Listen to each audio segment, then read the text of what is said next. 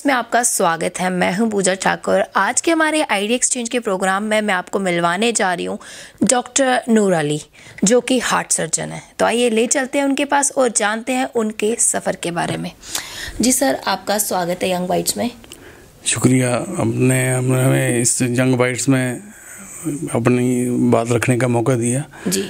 और इस माध्यम से मैं अपने दर्शकों को भी ये बताना चाहता हूँ कि मेरी जो शुरुआत हुई है एक क्रीमची गाँव है वहाँ पे। जी। वहाँ पे मेरी स्कूलिंग हुई। फ़र्स्ट से लेके टेंथ तक मैं वहाँ पे पढ़ता रहा। ये तो खुशी की बात है कि आज मैं इस मुकाम पर पहुँच गया हूँ। कि कार्डिक सर्जरी का हेड और प्रोफेसर हूँ। लेकिन शुरुआत बड़ी मुश्किल से शुरू हुई थी हमारी।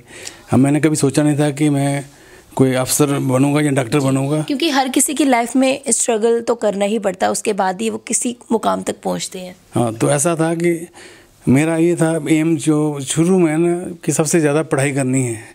और मेरा मेडिकल लेने का एक ही मकसद था कि जो मेडिकल बच्चे पढ़ते हैं जी। वो ज़्यादा जहन नशीन होते हैं और वो इंटेलिजेंट होते हैं। इसलिए मैंने ये चैलेंज लेके इसको सब्जेक्ट को लिया था। जी। उस वक्त मेरे जहन में डॉक्टर बनना या इतना बड़ा ये बनना है इतना मेरा कुछ शौक नहीं था।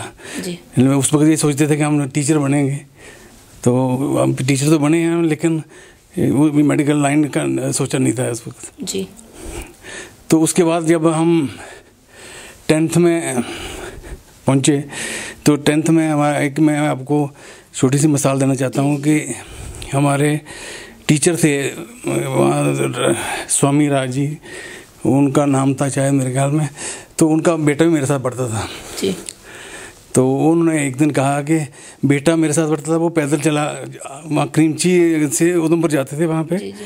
लेकिन एक दिन क्या हुआ कि उन्होंने मैंने देखा कि वो कुछ पढ़ रहा है कोई बुक्स जो ट्रिग्नोमेट्री थी। तो मैंने उसको बोला कि भाई ये क्या पढ़ रहा है? तो नया सब्जेक्ट है। तो बोलता है भाई ये तो एग्ज़ाम में आएगा ट्वेंटी नंबर इसके मिलेंगे। जी। मैंने कहा यार मेरे को तो बताया नहीं है। तो ऐसा हुआ कि ये जो ट्वेंटी नंबर की टिग्नोमेट्री थी मैंने रातों रात पढ़ी बुक भी नहीं थी मेरे पास। मैं मामे के घर गया तो उनकी पुरानी एक बुक थी पड़ी हुई वहाँ टिग्नोमेट्री की। वो लाया मैं और सारी सारी रात पढ़ता रहा और दूसरे दिन एग्ज़ाम दिया। जी। तो नतीजा ये हुआ कि जब हम पास हो गए तो वो मेरे नंबर उससे ज़्यादा आए उस लड़के से। तो वो टीचर ने मेरे को बुलाया अपने अपने कमरे में नेक्स्ट डे तो बोला यार मैं देख मैं एक अपने दिल से बोझ उतारना चाहता हूँ मैं मैंने कहा सर क्या क्या बात होगी? कहता यार मेरे दिल में ये था कि मेरा बेटा नंबर ज़्यादा लेगा आपसे। तो लेकिन मैंने मेरे दिल में ये वहम आया मैंने ये आपको ट्रिग्नोमेट्री नहीं पढ़ाई वहाँ पर बच्चों के साथ ना? तो लेकिन फिर बाद में शाबाश दी कि तूने फिर भी नंबर ज़्यादा लिए हैं इस गाँव के होते हुए इस माहौल में। तो मैं बड़ा खुश हुआ इस बात पे कि जो करता ऊपर वाला ठीक करता है और उन्होंने अपना इजहार किया कि उनकी गलती उन्होंने शायद वो मानी या नहीं मानी लेकिन यह है कि मेरे को एहतराम बड़ा हुआ उनका कि उन्होंने अक्सर जो बात उनके दिल में थी वो कही जी। तो इससे मेरे जस्ट ये बताना चाहता मेडिकल फ़ील्ड में फिर आप कैसे आपने कदम रखा?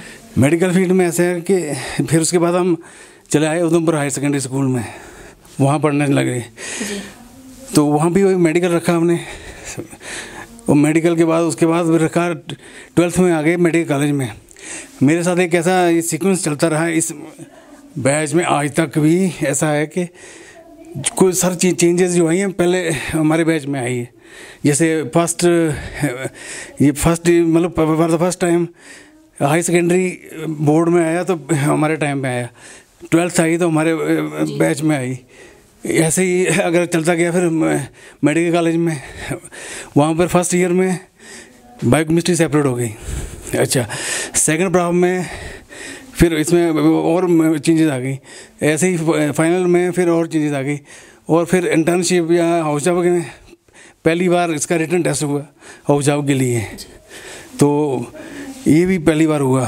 फिर इसमें कोइंसिडेंटली ऐसा हुआ कि एम एस में भी पहली बार रिटर्न टेस्ट हुआ, हमारे बैच में।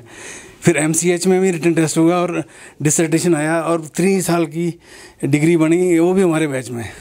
तो ये इट इज़ जस्ट को इंसिडेंस ये बताना चाहता था कि मैं कि ऐसा रहा जिस तरह से आपने बताया कि आप जैसे हार्ट सर्जन है उसकी शुरुआत जब आप शुरुआत में ओपन हार्ट सर्जरी आपने करना शुरू की तो कितना डिफ़िकल्ट आपके लिए रहा? देखिए ये आम लोगों को इतना पता नहीं होता कि इसमें क्या डिफ़िकल्टीज आती हैं। और शुरुआत करना मैं कहता हूँ बहुत बड़ी बहुत बड़ा एक डिफ़िकल्ट जॉब है। मैं बताऊँ आपको कि हमारे कॉलेज में सबसे पहले मशीन आई है 1984 में जो। कि दुनिया में जो मशीन ये ओपन हार्ट की आई थी फिफ्टीज़ में। तो in this short period of time वो मशीन जो अमेरिका में दस बीस साल पहले बनी वो इधर आ गई। हमारे कॉलेज में सी हॉस्पिटल में डॉक्टर एम एल गुप्ता हुआ करते थे। उनकी वजह से इधर पहुँच गई और उस वक्त शायद शेख साहब के का दौर था।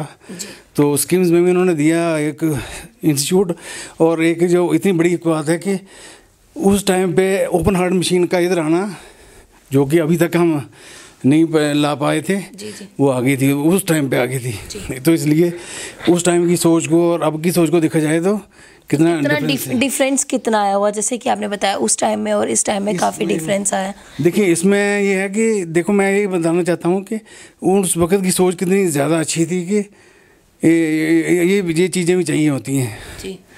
तो फिर ये स्ट्रगल करने से हुआ फिर बाद में क्या परेशानियाँ आई? उसके डिफरेंट कारण हैं। जी। लेकिन मेरा कहने का मतलब है कि ये इतना जल्दी इधर सर अगर आज के टाइम की बात की जाए ना चाहे छोटे छोटे बच्चों की बात की जाए बड़ों की बात की जाए हार्ट की काफ़ी प्रॉब्लम्स उनको आ रही है। तो क्या सबसे बड़ा कारण रहता है? देखिए इसमें हार्ट के तो दो प्रॉब्लम्स हैं। एक तो है कि कंजेंटल डिफेक्ट हैं इसमें। क्योंकि इसकी बनावट इतनी कम्प्लेक्स है कि कहीं ना कहीं इसका जोड़ तोड़ रहता है। दूसरा ये है कि एक्वायर्ड डिज़ीज़ आती हैं जैसे लाइफस्टाइल की डिज़ीज़ हैं इन्फेक्शन की डिज़ीज़ हैं जो। कि हार्ट पे असर करती हैं। तो इसको ब्राडर क्लासिफिकेशन में दो हिस्सों में डिवाइड करेंगे हम। कंजेंटल हो गया कि जो जिसमें बनावटी रुकावट है। जैसे रुकावट एक किस्म की सुराख होता है ऑब्स्ट्रक्शन होती है जो रुकावट हो गई या लीक हो गया वेल्व का होना ये चीज़ें हो गई कंजेंटल तो जो दूसरी हैं जैसे एक रोमेटिक हार्ट डिज़ीज़ है उसका नाम लेने के लिए ये खासकर बच्चों में ज़्यादा पाई जाती है। क्या कारण क्या रहता है? कारण ये होता है कि शोर थ्रोट जैसे गले का ख़राब होना बार बार बचपन की पीरियड में फिर बाद में जोड़ों में दर्द रहता है। हमारे जो है इन्वायरमेंट थोड़ा ठीक नहीं होता है तो ऐसे लोग जो इस एनवायरनमेंट में पलते हैं उनमें होने के ज़्यादा चांसेस होते इस, हैं इससे बचने का क्या तरीका हमें अपनाना चाहिए? इससे तो यह है कि एक तो अपनी सफ़ाई का ध्यान रखना है और फिर शोर जो थ्रोट है ये गले की मतलब कि इन्फेक्शन इसको स्टेप्टोकोकस अपने इसके लफ्ज़ में कहते हैं उनको जल्दी से इलाज होना चाहिए जैसे एंटीबायोटिक का कवर होना चाहिए। सबसे बड़ा कारण हार्ट अटैक का क्या है?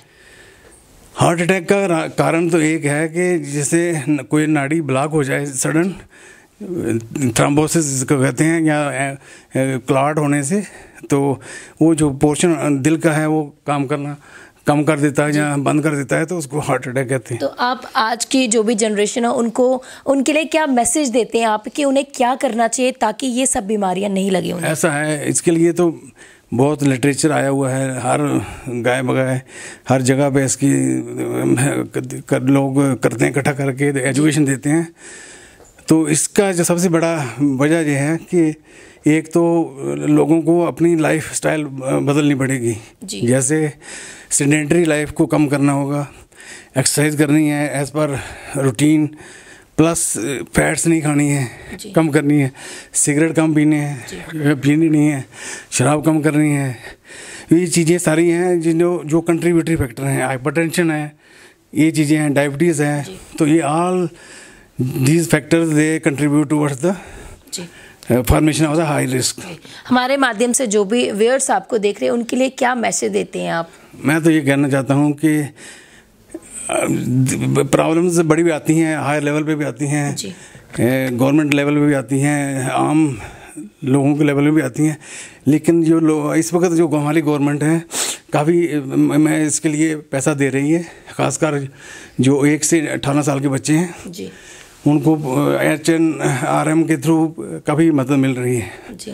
इससे पहले ऐसा मुश्किल था पहले। लेकिन हम हम हम एक बात मैं और कहना चाहता हूँ कि जो इक्वमेंट है उनकी भी शार्टेज रहती है कभी कभार। तो उनका जहाँ तो टेंडरिंग सिस्टम मुश्किल हो जाता है। जो सो मेनी अदर प्रॉब्लम्स वो भी अवेलेबल होनी चाहिए। Thank you so much sir हमारे साथ जुड़ने के लिए।